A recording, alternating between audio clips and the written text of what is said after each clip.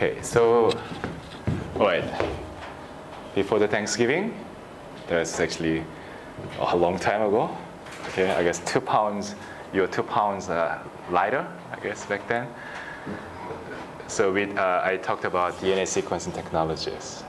Okay, and it was a good timing. Well, here, it's an unfortunate timing because Fred Sanger has just died two days before my lecture at the age of 95, you know, who won two Nobel Prizes. Uh, first for sequencing, you know, protein, insulin, insulin, and then uh, a second for sequencing, I mean, uh, DNA.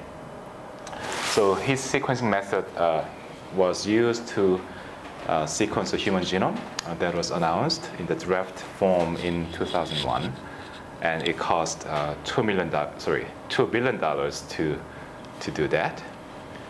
Uh, but nowadays you can uh, do human genome sequencing for about uh, $5,000 and uh, by using next generation sequencing technologies. And uh, introduced uh, these technologies last time, one you know, by a company called Illumina, the other by Ion Torrent. Illumina is based on massively parallel fluorescence detection of sequences uh, you can call it sequencing by uh, synthesis because when DNA polymerase you know, copies, then you see uh, different colors, fluorescence based on uh, different sequence. And, uh, and there's also another competing technology based on electrical measurement of sequencing reaction by measuring the protons released every time DNA is extended by one base and that has the potential to fully utilize the advances in silicon technologies to make it, you know, massively parallel because it's purely electronic uh, measurement, electrical measurement. All right, so today we'll uh, complete that uh, chapter by uh, talking about third generation sequencing technologies or next next generation sequencing technologies.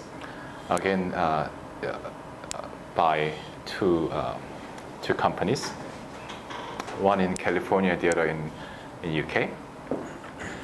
And then uh, the main topic today will be the introduction of several uh, gene expression analysis technologies. Uh, there are actually many more than what's written here, but today I will just talk about uh, these uh, methods. PCR uh, for polymerase, polymerase chain reaction, and RT-PCR, real-time PCR, and Northern blot, okay, very classical technology, and uh, DNA microarray technology, and uh, FISH, and MS2 binding array. Okay, the next lecture uh, that this will be my final lecture that, that I, I myself give uh, on Thursday will be on uh, genome engineering. There are actually really wonderful new technologies to uh, that you can use to manipulate the genomes, even the human genomes, uh, uh, uh, relatively easily. So I will talk about the advances, and then also a very interesting topic called synthetic cell that I think you'll find also very interesting. The, the final lecture of the course will be given by Professor Schulten, next uh, next Tuesday. Uh, unfortunately, uh, we couldn't actually give the lecture at a, on a regular at, at, a regular slot. So, makeup lecture will be that evening, 7 p.m. Uh, 136 Loomis, which I believe is is this room, right? Yes. next next Monday. Monday. Okay, then that's correct. So that, yeah. Okay, the email is correct.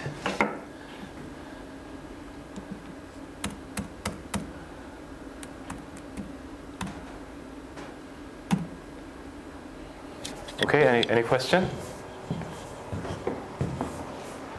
Again, the take-home final will be announced soon.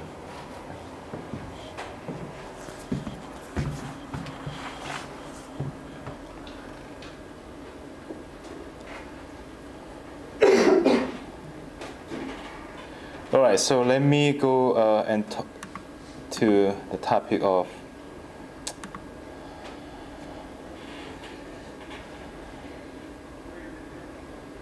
Where is it? Okay, here.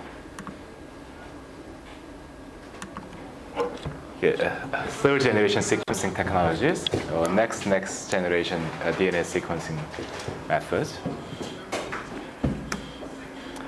Actually, uh, there was a company uh, called Helicos based on single molecule DNA sequencing. Uh, I actually uh, scratched that because the company went down. Okay, the stock price is now think, one cent, like this. There's another company uh, which is actually still uh, uh, operating, uh, Pacific Biosciences, uh, another single, single molecule sequencing uh, technology company. And in fact, this company was founded by two graduate students at Cornell University, one in physics, one in engineering. And they're about, you know, my age, maybe a little younger. So you can, the company is worth about $800 million, okay?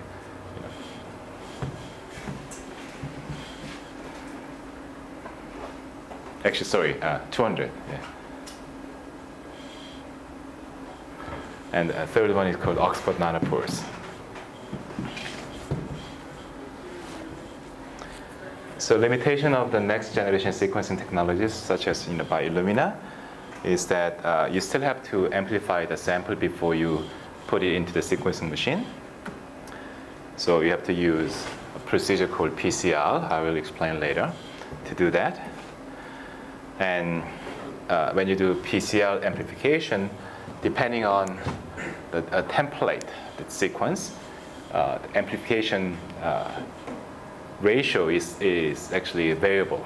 There can be a great variation, you know, what amplification factor you get, depending on the sequence, there is actually, there can be a really strong bias in, uh, in the sample preparation.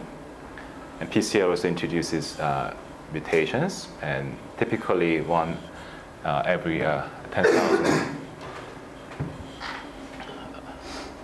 nucleotides. And, and sample preparation can be difficult because it usually involves you know, getting genomic DNA and then connecting uh, two pieces of the adapted DNA molecules to the ends, which uh, the yield is not very high. And typically, uh, the read length is not very long, you know, maybe a couple of uh, hundred uh, base bases. And I mentioned that, that if you want to assemble the entire genome, then it's much better if you have long read lengths for each uh, sequence that, that you have because then you can align them much more easily. Okay? And the reaction is not synchronized. What happens is that uh, you, uh, you have many, many, many, many, many colonies, let's say 100 million colonies uh, that you, 100 uh, million clusters that you're trying to sequence, but you run the reaction one, one base you know, everywhere, and then you, you know, move your robotic stage to, to image many, many different areas in a massively parallel way. Um, so it's asynchronized. You're not measuring things in real time. And so basically you, you measure one uh, base nucleotide extension per each solution flushing, you know, and so on. So that can be slow. Uh, and finally, um, you know, uh, even now we are not at that level yet. You, know, you want to go even cheaper, like $200, whatever.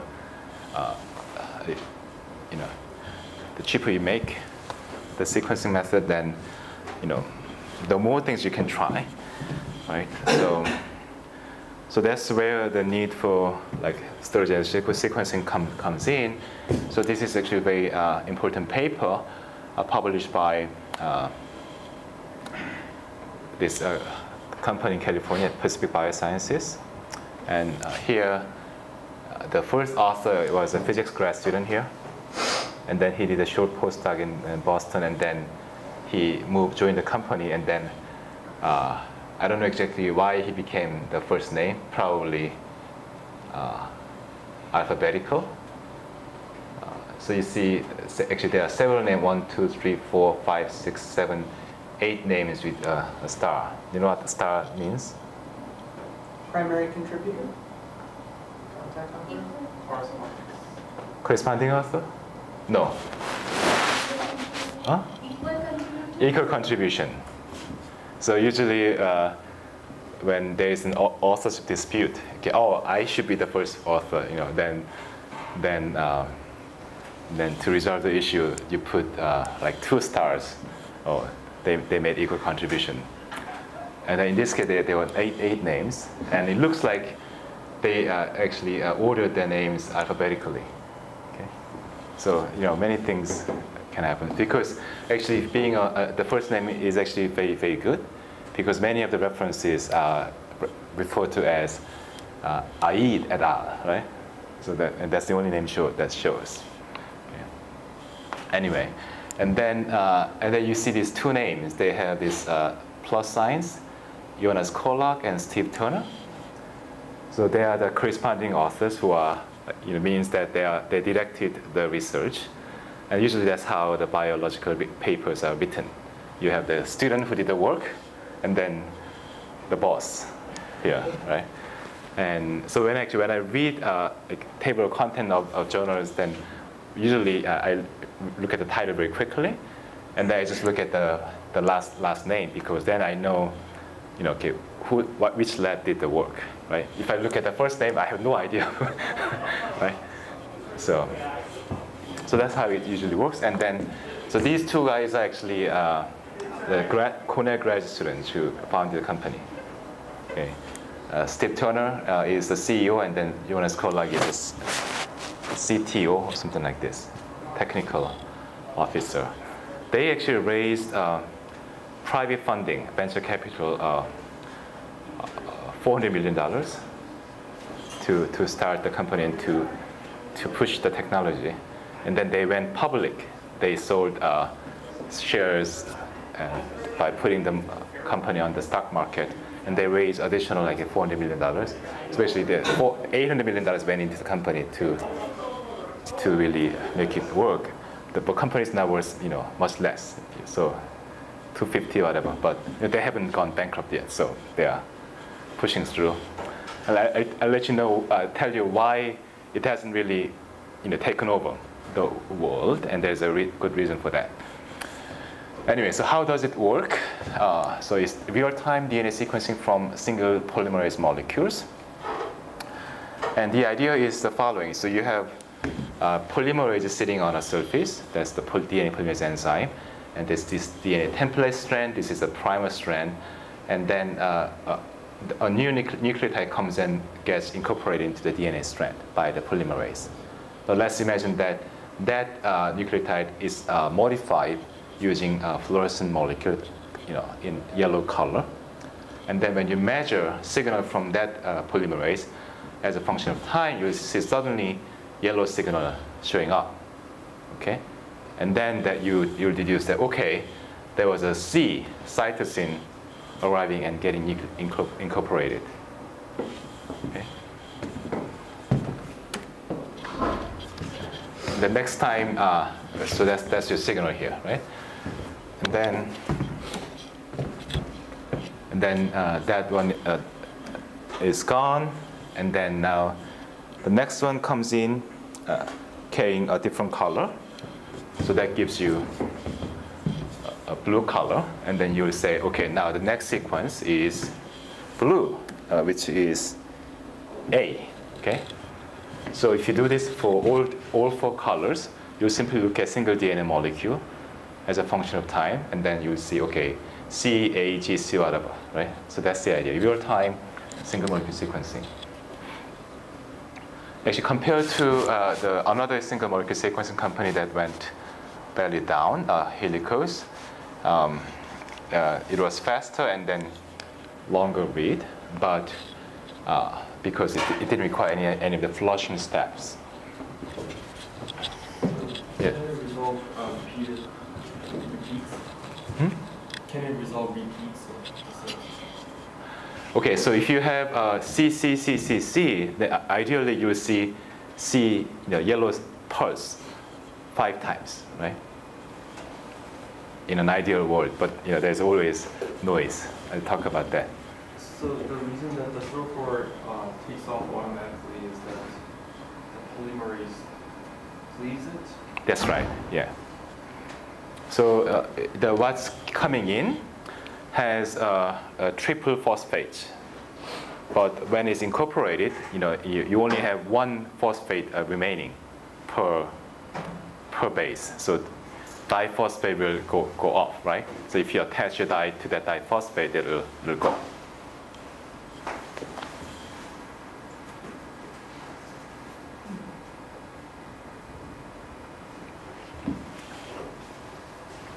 Mhm. Yes. You say that, you know, there's an issue with noise. That graph there, you know, the, the data is well above the noise and well separated in time. Is that a truly representative graph or? You know, I, I tend to think that this is actually not real data. Okay. I show you the real data. Okay. Okay. Yes. So how do you know, how do you make sure that the new nucleotide being added is the one that fluoresces and not anything else that's in solution? Oh, because of uh, things that are floating around, they don't stay in one place for long enough to be seen. So Hmm. um, how big is the uh, molecule? About uh, one, one nanometers, 10 angstroms across. So is there, um, do you think they had to make it so that it doesn't interfere with the polymerase? Yes. So they, they actually made all these dye molecules uh, in-house in the company. So they hired a bunch of chemists who did nothing, nothing but, you know, making different kinds of dyes. So that is really one major uh, innovation. You know, one of the many you know, things that we did. That's why they, the company had to hire like 400 people. So I saw somebody give a talk. Maybe he, he, he was giving a talk, and then he showed like you know, 300 pictures of their entire company. Of course, you know, janitors included, but.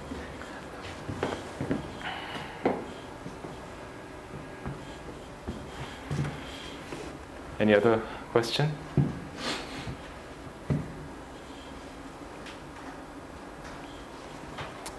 Okay, but this is not trivial as uh, seems.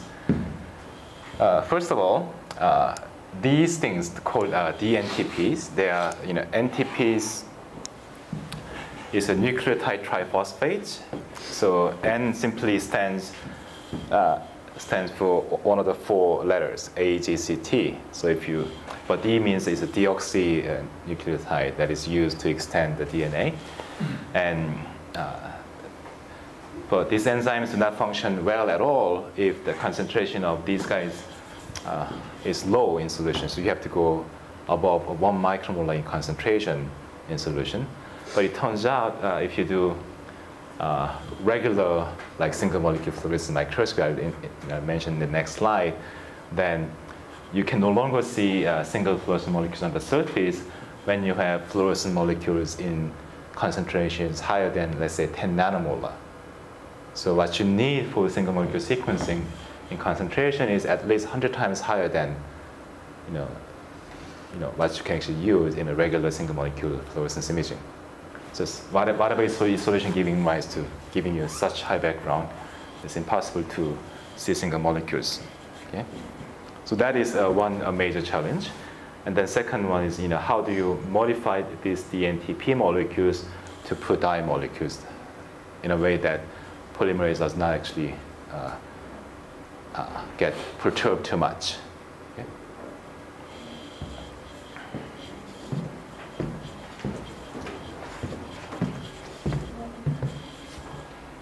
Questions? So uh, there are two different ways to do uh, fluorescence microscopy with low background. One is uh, a method called total internal reflection microscopy. Light comes in and gets reflected, but if the angle here is large enough, then light does not, laser light does not propagate toward your detector. It gets reflected completely, so you can minimize, you know, the excitation of uh, background fluorescence. But this, this gives you only so far. Maybe you can go up to 10 nanomolar, uh, but not much more than that. And another way of uh, doing single molecule detection with low background is to do confocal microscopy. You focus your laser beam to a tiny spot, about half a micron in diameter, and then, uh, then you can excite these molecules selectively. Although the light diverges and excites many things up here, but if you use a, small area, area detector, and then you image this point precisely to the detector, then, uh, then background arising from bulk of the solution will not be detected by the detector. And so you can uh, reduce the background. And, and, and, for this reason, this is called confocal microscopy. And to form an image, you have to raster scan the sample in XY. But in, basically, still the limitation, limit for concentrations you can have in solution that still allows uh, single molecule detection is about 10 nanomolar. Okay, too low uh, for, for single molecule sequencing. So the technology uh, was developed by these people uh, to make a tiny hole. So this is a glass cover slip. That's an aluminum film. And the diameter of this uh, hole is about uh, 50 nanometers. Okay?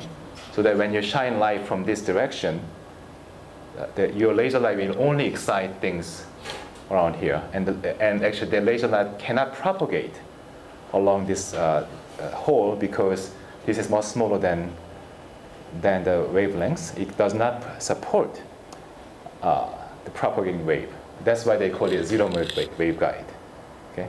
So you excite only a small area. And then, although you have very high concentration of uh, labeled nucleotides, DNTPs, you excite only a small amount, small fraction of them, right? So background coming from this area is very, very small. Low enough, you can actually detect single molecules quite easily.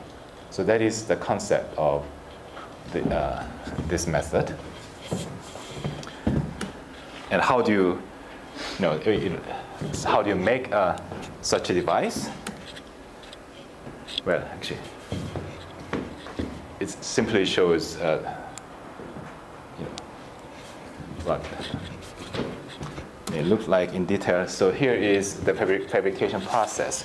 You have a cover slip, and then you uh, deposit a layer of uh, a material, and then you can use uh, uh electron beams that you can focus to a very tiny spot uh, to uh, remove everything else except for this cylinder. And then, and then you can, so that from the side it looks like that. And then you, uh, you deposit metallic film on top, so it'll look like that from the side. And then you use chemicals to etch away that black stuff, the cylinder, original cylinder. Then you're left with a hole, a zero mode waveguide. So uh, Steve Turner uh, is a legendary story. As a grad student, had the idea of using this uh, hole to do single molecule DNA sequencing. And then he said, oh, I'm going to file a patent. And then people at Cornell laughed at him. Oh, Steve wants to patent a, a hole. and then like a few days later, he came up with this name. Oh, I'm going to call it a zero wave waveguide. And no one uh, laughed anymore. Anyway.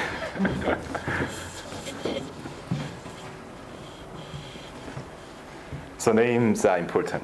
Okay.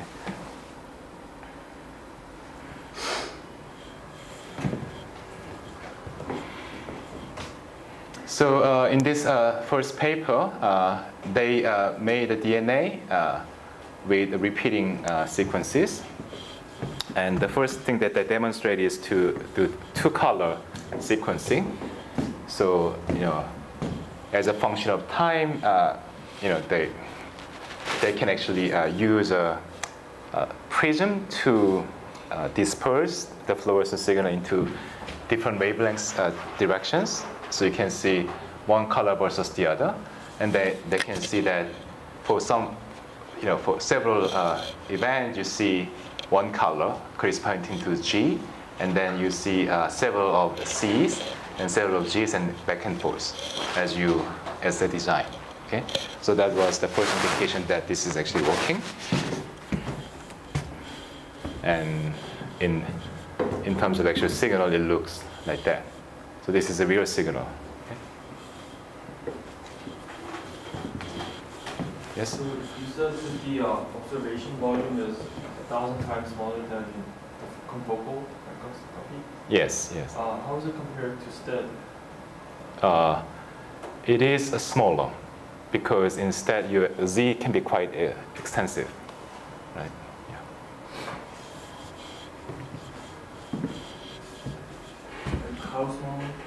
Hmm? Like, like ten times smaller compared to STED? Probably uh, more like 20 or 30 times, yeah. I think I, I gave a number in terms of uh, observation volume. So one ze- zeptoliter, the 10 to the minus uh, 20, 21.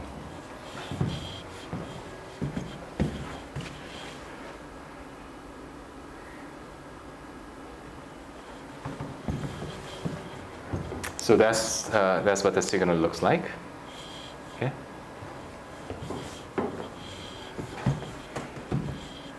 They also demonstrated uh, full color detection, and then uh, you can read the sequence of all four nucleotides. And you can make the calls TC, TGA, whatever. Okay, so that's the idea. And you can just look at this and see, you know, how accurate a noise this process must be. Okay. So why is not evenly distributed in time? in time, um, because the process itself is stochastic, right? For each step of nuclear incorporation, you know, you know, most likely it follows uh, exponential distribution. Sometimes it can be, right? You don't you you don't have a periodic signal. Each each step is exponentially distributed. Sometimes you you know can get a long delay.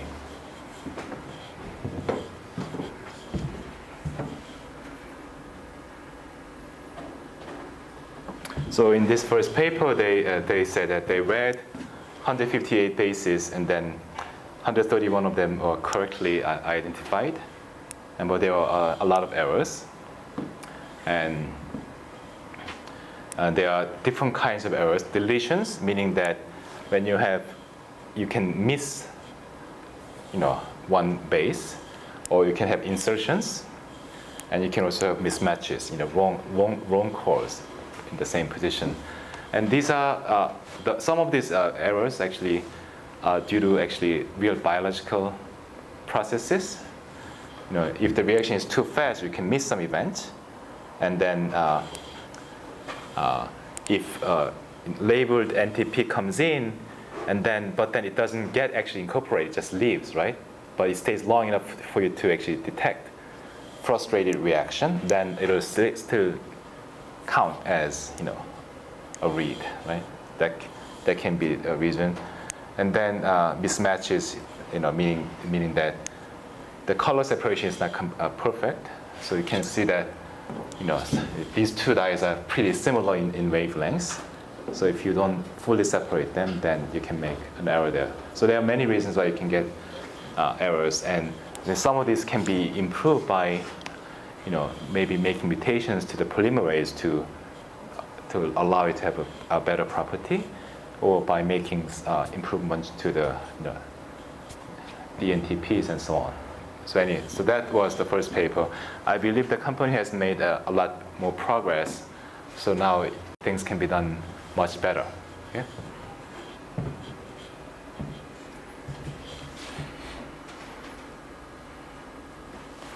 Okay, let's see if I can.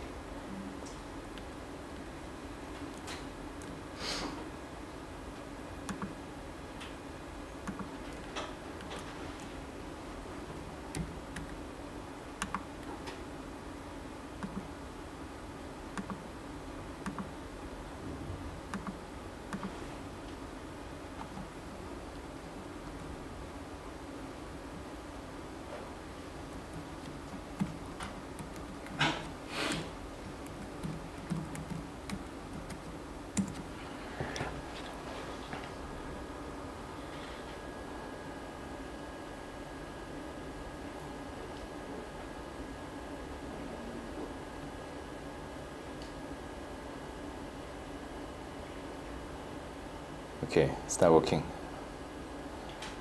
Okay, forget it. All right, so uh, then uh, the other technology uh, for third, third generation sequence technology is based on a nanopore. So you can have uh, like another uh, hole, but then uh, you can drive the DNA coming through the hole using an applied electric field. And then, but at the same time, uh, electrical currents can flow through the pore. And then, depending on the sequence of the DNA you have, you may have different uh, current levels, and that may be used to uh, read the sequence. And in fact, this was kind of proposed almost 20 years ago by uh, some people, and no one really, you know, not I mean, no one, you know, I, I didn't really take it seriously. Uh, but in fact, actually, Al- Aleksei Aksimentiev in the department, uh, he is a really world expert on nanopore technology based on uh, an extensive uh, research that uh, his group has done. So this, you know, basically you just read the uh, current level of a single DNA molecule going through, and then you read the sequence that has the potential of multi- multiplexing and so make it in parallel. And in principle, you can read really, really long DNA molecules. okay? The read lengths can be you know, thousands or longer in principle. But this has been a kind of, you know, pipe dream for many, many years. And then actually a company in Oxford, UK, they have uh, 200 employees. And they apparently uh, solve uh, a lot of the problems. And almost two years ago, February 2012, uh, at a meeting in Florida, they announced publicly that they developed a sequencing machine based on the nanopore technology. And that is uh, very small. Actually, you can see that it, it is, it can be connected to, to a, a USB port. Presumably, the hole here is to pipette in your DNA sample. Okay? And uh, they claim that you, you have 800 parallel detection wells and read lengths up to 100,000 nucleotides and so on. But uh, you know, they haven't published anything yet. And so it's not clear what type of you know, pore that they're using and also how they are driving the DNA through at a measured uh, a pace. And they also claim the accuracy is actually 96%. So we, people have complained that they, they just made an announcement without actually showing that it, it works. And nothing has actually has happened since in the last two years, likely because they also had other issues to solve. But apparently they are now uh, uh, trying to uh, send some of the instruments to different labs uh, to, for beta testing. I believe University of Illinois is trying to get one of those. So if this works really well, maybe this may replace everything, right? Until the uh, graphene-based nanopores can take over 10 years from now. So it's a really interesting field. Things are moving so rapidly. Questions?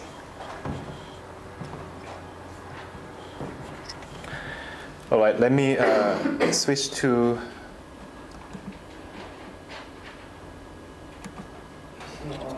What is the advantage of graphene-based? Okay, so I mean, the idea of nanopore-based sequencing is the following. So you have a very uh, narrow uh, constriction, narrow hole, and then when the DNA goes through, th- then DNA will uh, perturb the current going through. But uh, if the if the narrowest part of the pore is, you know, really thick, let's say 10 uh, bases of uh, DNA in length, then the, that signal will be averaged about 10 bases of DNA. If it's uh, smaller, thinner, then it, you will average about three or four bases of DNA. But if, if you use a graphene, graphene, for example, then you may be averaging only one over one base, right? That's the potential advantage.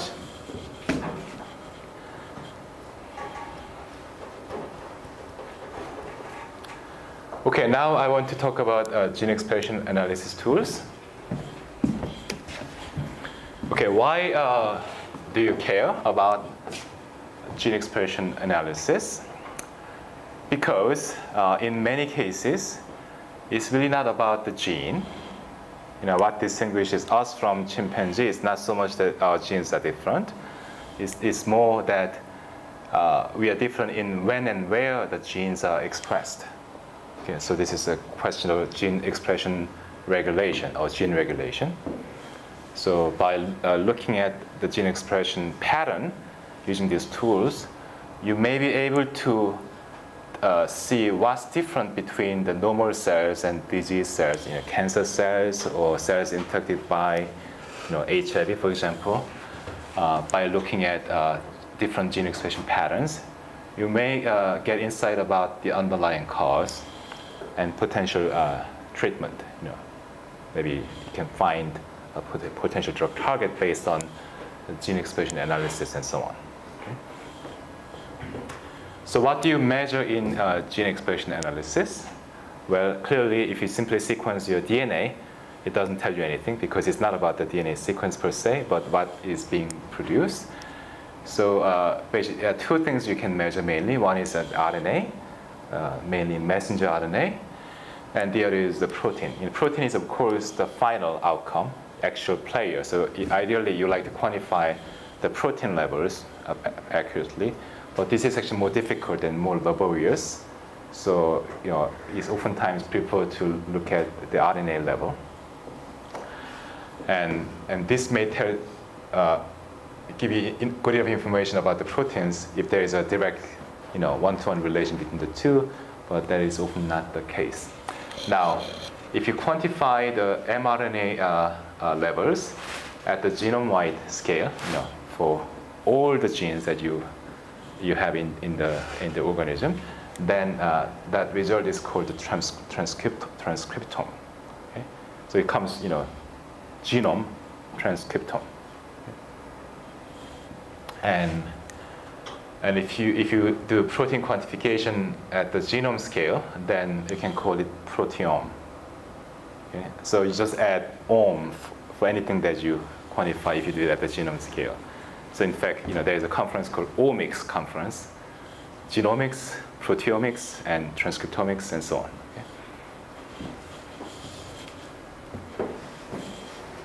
And there is a where the really big excitement is because data amount that you get is so big and you can no longer use your intuition to, you know, look at the figure and then uh, see what's going on. You have to use massive computational tools to, to, uh, to analyze them.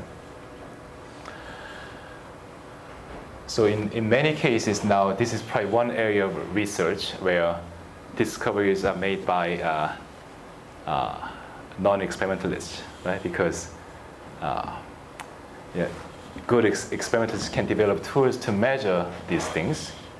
It can generate data, but uh, you cannot comprehend the meaning uh, without actually uh, doing serious computation analysis. Okay. So the aha moment, right? Uh, this is how it works. This is what's going on. Uh, can be had by a student doing the computational work. But in most other uh, kind of research, in aha moment, right, the real discovery is made by, by the, the experimentalist. But this is an area where, you know, things can flip. Okay, what are the main tools for measuring gene expression uh, for RNA and protein? Uh, for RNA, uh, we have RT-PCR, real-time PCR, I'll describe this later. We also have a technology called microarray. And uh, here is kind of illustration that I took from Rob Phillips' textbook. So let's imagine on a surface you have uh, single-strand DNA of a certain sequence sitting here as a cluster. And then you have uh, uh DNA molecules derived from your cell of interest, but they are labeled with fluorescent dye molecules. Then if there's a matching between the two, then it'll bind to the single strand DNA on the surface, and then this spot on your device will light up.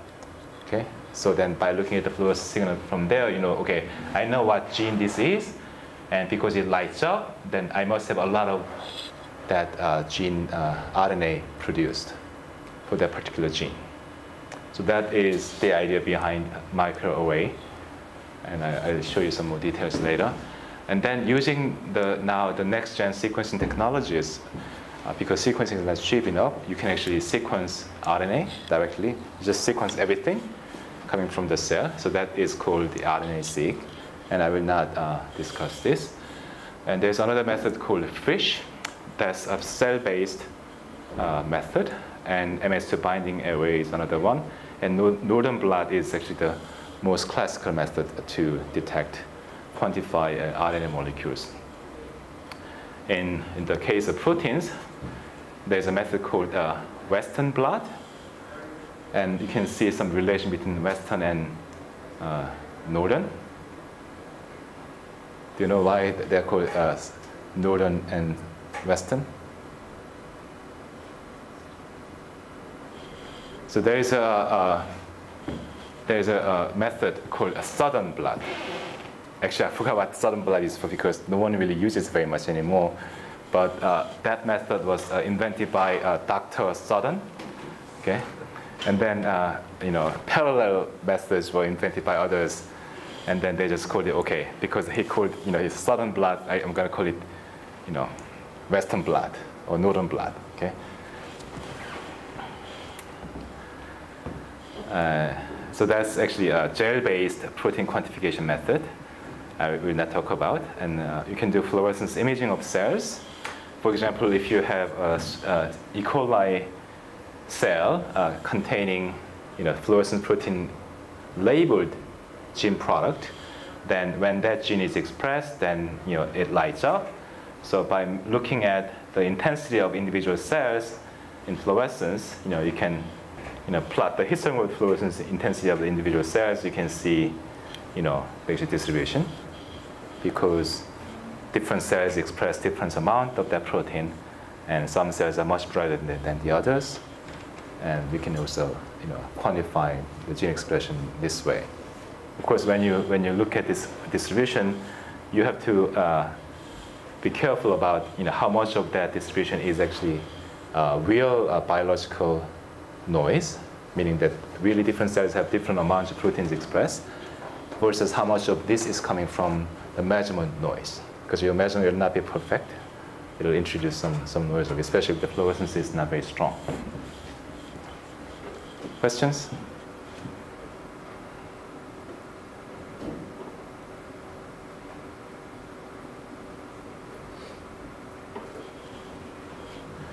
There's another method uh, called uh, fluorescence uh, flow cytometry. And uh, that doesn't use imaging, but it uses a flow device, and the cells are flowing through a laser, laser beam uh, one at a time.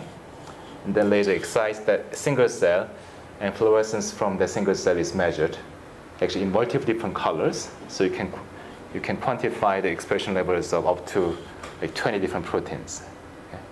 And so, so you can buy an instrument uh, uh, that costs half a million dollars that can do these things. And a lot of the immuno, uh, immunologists actually using them very uh, widely uh, because there are many different types of immune cells that you can uh, detect and separate based on fluorescence markers. And perhaps the most powerful method for protein quantification is called mass spectrometry. And, and that uh, actually method was uh, is really powerful, and you can actually do a genome-wide protein quantification, you know, of 2,000 genes at the same time uh, from yeast, for example. And actually, I was reading about mass spec two years ago. I was so impressed. Wow, this is so powerful. Wow, and and precise. And I thought, wow, you know, someone should get the Nobel Prize for this. And then I realized like someone already has received the Nobel Prize for, uh, uh, for the technology.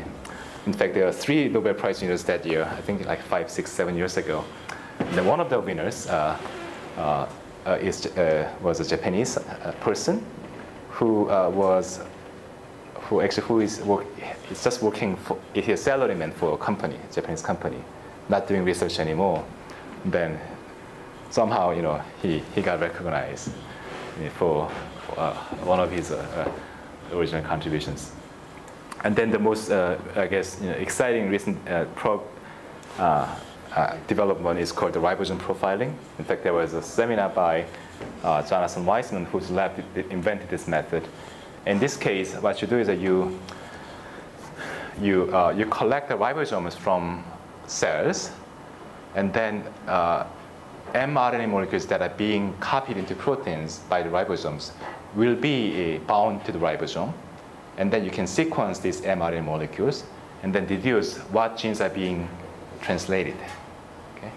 Turns out that that is actually much better measure of the protein level than the RNA-seq. So that actually is really, you know, getting really, really uh, uh, exciting. And that, uh, so in fact, uh, I think all his postdocs are highly sought after, you know, becoming professors, Stanford, MIT, uh, Berkeley, and so on. Um, but I mean, he also told me that here really the difficulty is not actually performing the measurement, it's really getting the, the meaning out of the data. So a lot of the effort is now going into the computational tools to actually analyze the data. Questions?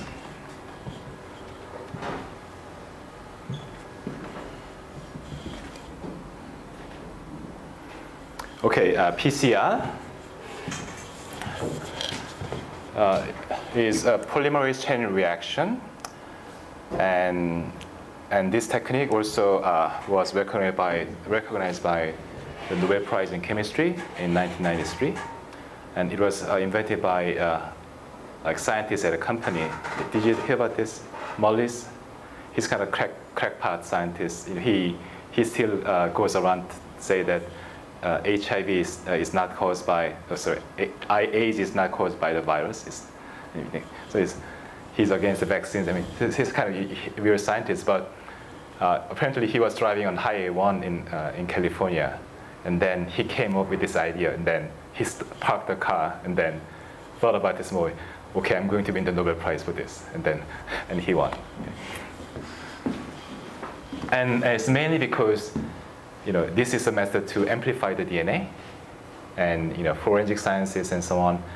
Before, you couldn't actually use DNA to, to uh, identify a criminal or innocent people because there was just not enough DNA molecules there to, to make the distinction, to make the measurement. But now, with this amplification method, you can actually do. Right? So PCR is really, uh, you know, the basis for modern biology. So there are three steps in PCR reaction. So DNA template uh, is repetitively denatured, annealed, and replicated by the polymerase. And so uh, it's denatured at a high temperature, 95 degrees, into single-stranded DNA molecules. And then it's annealed to specific oligonucleotide primers uh, at, at a much lower temperature, typically 55 degrees and so on. And then um, and then polymerase copies the DNA uh, you know, you know, to make double-stranded DNA, and then you then go up in temperature to denature the molecule, and then repeat this process many, many times. That's how you do exponential, exponential amplification.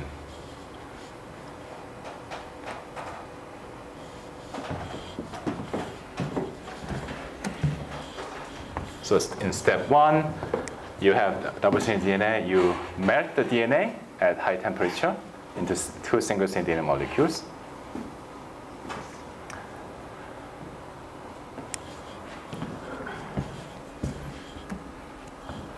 And then in step two, you uh, go down in temperature, and then you anneal uh, short uh, primer DNA molecules here and here. And, and then uh, and then in step three, then DNA polymerase will make a copy in this direction and also here. And then you have two double stranded molecules, and then you, you melt, you add primer anneals, and then you do it again. So that you get this continuous amplification.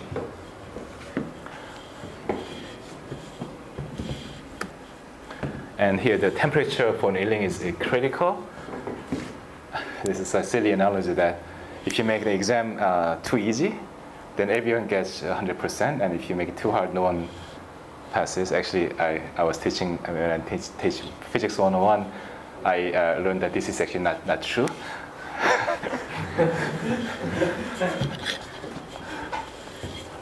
uh, anyway, so if your annealing temperature is too uh, low, then, uh, then you know, the annealing of primers to the target, uh, template DNA is not as stringent in terms of sequence uh, matching. So you can have uh, false positive. But if temperature is too, uh, too high, then you know, it does not anneal. And so you can get false negatives. Questions? So PCR uses a thermal cycler. So have, have you seen a thermal cycler in, in a lab? Just a you know, small container like this, like a rice cooker, size of a rice cooker. Okay. And so actually you, it's, it's, a machine that uh, changes temperature between three different levels all the time. Uh, and, and you basically program it so that you can go between three different temperatures and for some durations each and, and then you do it you know, some number of times. So that is the thermal cycling. You go into high temperature, you melt the DNA. Low temperature, you anneal the DNA to the primer. And then at, in, at an intermediate temperature, DNA polymerase uh, copies the DNA. And then do this.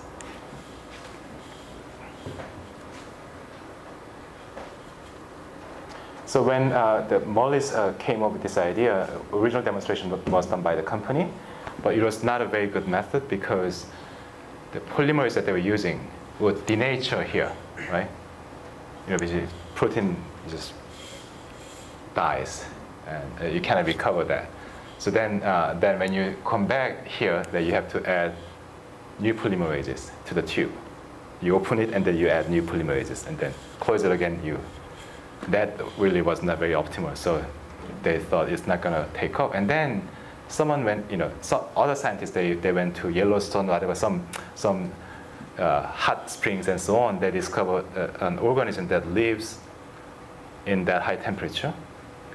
This means that, you know, if it's boiling temperature, that enzyme, the DNA polymerase, must be still active at that high temperature. It, it should survive this kind of temperature, right? And it, in fact, that enzyme is not active at this temperature. So if you simply add that enzyme to this tube, and then go up and down, and then here, and then enzyme then uh, works. And then you can do this without actually opening the cap of the tube, and then you can do this many, many times. So that is the idea. So it required actually, his Nobel Prize required actually the discovery of an, you know, hot spring organisms. Okay,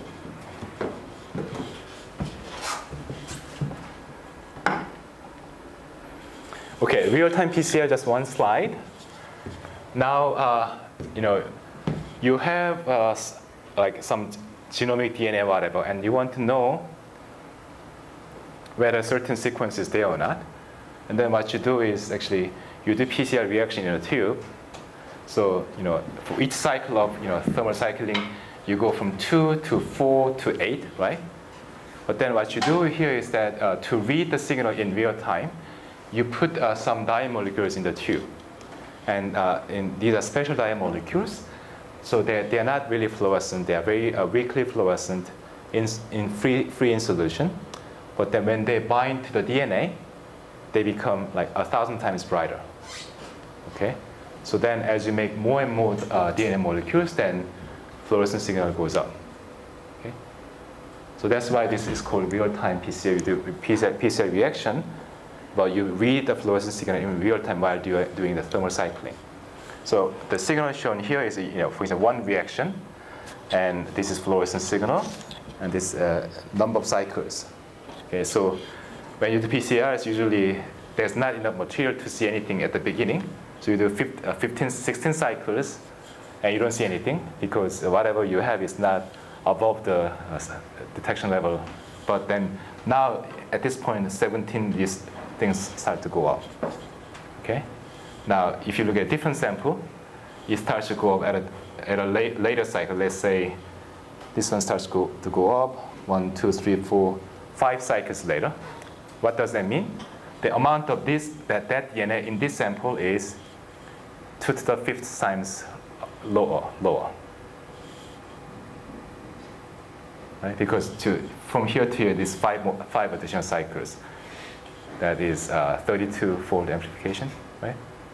And then in us, like that. So by, by doing a real-time PCR and reading out what's the signal, you can uh, clearly see the relative abundance of the original material. Okay?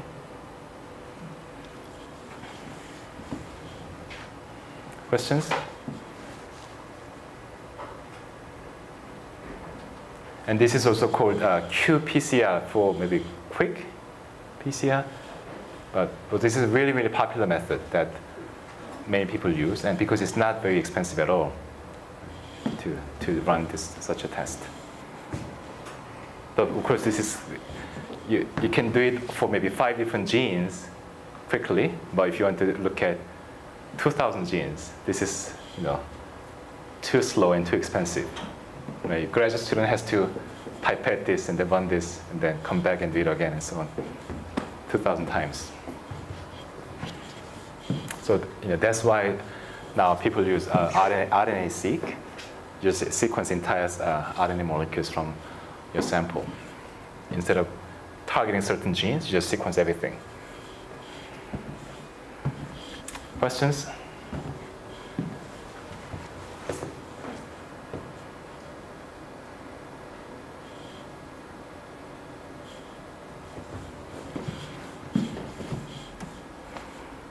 So uh, now the northern blot. So this is the most uh, classical uh, method, and that's probably is, is the least uh, sensitive, but still being used in some uh, measurements. So the idea is that you have a sample of cells and you extract your RNA, and then uh, you run it on a gel. So the different RNA molecules run at different speed and then uh, it's called blot because you can actually blot this gel onto um, a, a, membrane. So RNA molecules will be transferred to the membrane. And then you use uh, some treatment to you know, fix the molecules there. And then you come with the DNA molecules that are complementary in sequence to the RNA molecules. And they can, uh, they can anneal to the RNA molecules. So if you have a particular sequence that you're interested in, you label with a radioactive uh, element, and then then it goes and uh, decorate that uh, piece of RNA. And then if you then use X-ray film to get get a picture of this, then wherever you have radi radioactive molecules will light up in the X-ray, and then that's how you quantify the amount of RNA you have in your, in your cell. Okay, this is what's nice about this is that there's no amplification, right? So uh, there's no issue with amplification bias.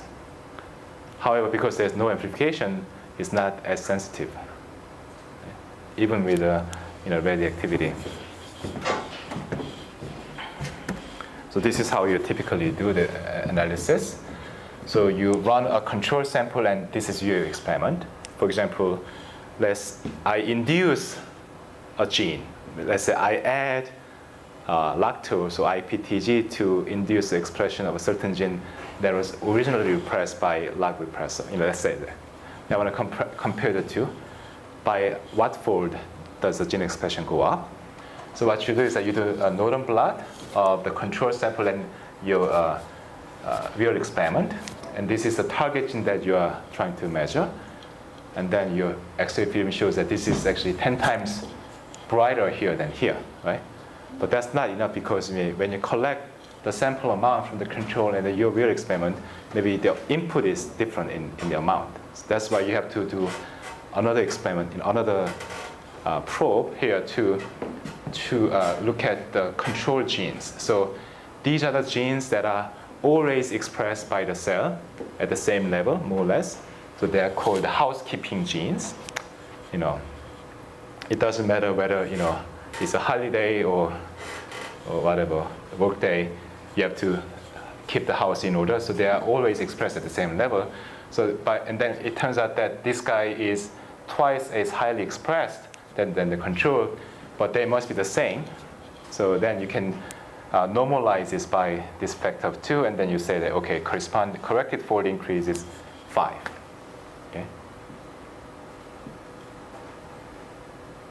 So again, uh, this method is nice because you don't need to amplify, but it's, it's not nice because you don't, you, don't, you don't get the amplification. Okay? It's not very, you have to have, it's not very sensitive, you know. It's very, you know, it's very actually hard to get very clean signal unless RNA is pretty abundant.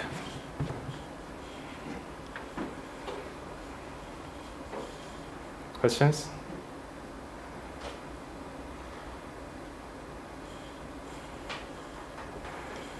Okay, DNA microarray.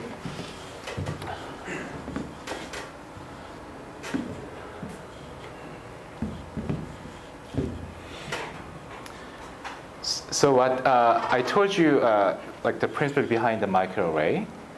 I mean, uh, let me go back. But, but it's called array because you have array of spots. But each spot contains, you know, basically uh, immobilized DNA molecules of a particular sequence, a particular gene. And then when, when the sample binds there, then you see, okay, you have a certain amount of that gene. So that's the idea. So usually what you do is that you do two uh, experiments side by side. Let's say this, this can be a control or it can be the real experiment. Let's say this is a normal cell and this is a breast cancer cell. And you want to see uh, the difference between the gene expression pattern. Okay? And then what you do is that you collect RNA uh, from the normal cells and breast cancer cells, RNA extraction, and then uh, you do cDNA reaction. You know what cDNA is? C stands for complementary DNA. So what you do is that you use an enzyme called reverse transcriptase that makes DNA based on RNA. And then uh, the DNA that you make that way is called cDNA because it's complementary to the RNA sequence. And, and then uh, the next thing that you do is that, that you do uh, IVT. IVT, do you know what IVT is? Uh, it's in vitro transcription. So you basically uh, use that cDNA as a template, and then you uh, make uh, RNA. But when you make the RNA, you use uh, nucleotide, in this case cytosine CTP, labeled with a dye of a green color, and then this is labeled with a dye of red color. Okay?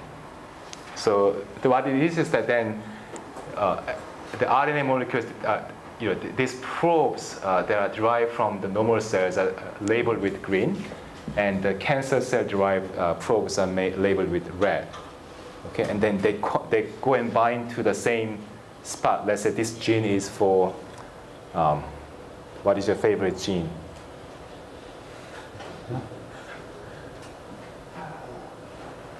Okay, do you know any gene?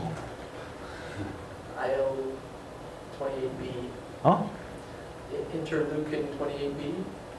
You like uh, IL-20B? Okay, IL-28B. Okay, let's say that this is the one. Okay, that's this one. Okay, this part is green. What it means is that in the normal cell, you, you have a lot of the expression of that interleukin 28B. But in the cancer cell, it doesn't get expressed. Right? So you see a big, big difference when you see a green spot. When you see a yellow spot, what does that mean? They're expressed at the same level in the normal versus cancer cell. And when you see red, what does that mean? It's only expressed in cancer. Cancer cells, right? So that is a very useful information. And you can get this, you know, on the genome scale very quickly, right? Just looking, looking at the color.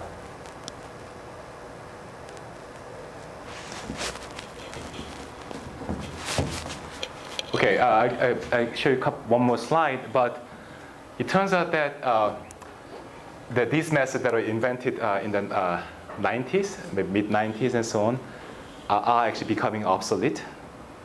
They are getting taken over by uh, uh, RNA-seq, just se- sequence everything, cheap, a lot, right?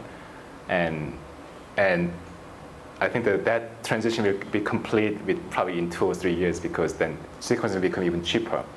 So this is one of those artifacts that uh, probably be seen only temporarily. You know, you know, Sanger sequencing is gone, right? You know, but not used anymore in, major sequencing facilities. This also will, will disappear. But really, you, you form the basis of high, high throughput genome-wide analysis gene expression because this is the first actually way of doing that. Okay? So in a sense, this is more like uh, uh, airwave for TV transmission. So uh, you know, already you know, you know, some years from now, there will be no air, you know, TV transmitted by airwave, right? So if you, if you have a satellite somewhere and then trying to look at, so now everything is done by you know cables and so on, right? So you have only maybe 40 or 45, 50 years of window when you had airwaves, right? That uh, did the TV, and it may happen to this technology too. In fact, there's a, a competing technology by a company called Affymetrix, and this is actually already, you know, more or less gone. Company is actually either gone, gone down or bought by somebody else. So this is just to uh, give you, uh, you know, a little bit more information. Again, you have your normal cell versus cancer cell. It can be anything you want. It can be a normal cell versus cells infected with uh, HIV virus. And, and then you get a signal that, that looks like this, and you just look at the ratio between green and red. And uh, when, uh, when uh, it's red, uh, you have high ratio. When it's green, you have negative ratio. And what, can, what you can also do is to use uh, uh, clustering algorithms to cluster different genes based on the expression pattern. Okay? So you can do not only two experiments, you can do many, many experiments. And then, uh, let's say as a function of you know, virus infection time, then, then different genes that are actually changing together can be clustered. And that can give you some additional information about what's going on.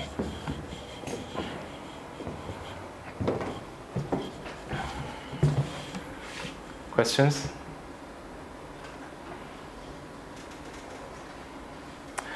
All right, so uh, because the time is up, so I, I stop here.